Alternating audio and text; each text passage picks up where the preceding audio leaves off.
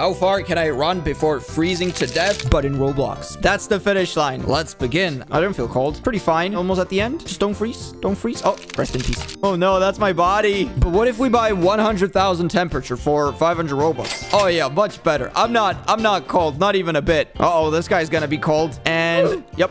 Popsicle. Sucks to be you. But can we make it to the end? And the answer is yes. Easy game.